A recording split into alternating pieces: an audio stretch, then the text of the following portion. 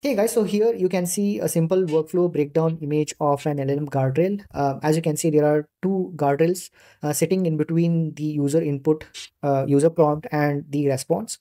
Uh, so it all starts with the user prompt, uh, the user query. Uh, before the user query reaches the LLM, there is a guardrail. As you can see, it checks for the request if the request is harmful, if the request is allowed under the company policy, or is sensitive data being sent uh, so it checks for all this toxicity and uh, if it fails if it fails the request is blocked and the response will not be generated right? And uh, the second thing will be if it if it passes right the llm basically generates the response.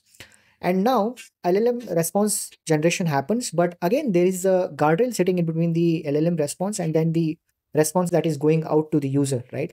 Uh, so before the response is returned to the user another guardrail checks for the output and again it verifies it verifies for uh, for the same things like does it contain hallucinations policy violations legal risk does it contain toxic or any biased content um, is it leaking any private data or uh, make medical financial claims or something like that. So if it fails again the output is not generated and if it passes the output is generated and it is shown to the user as a output response. So as simple as that uh, so we will see this in action through a simple tutorial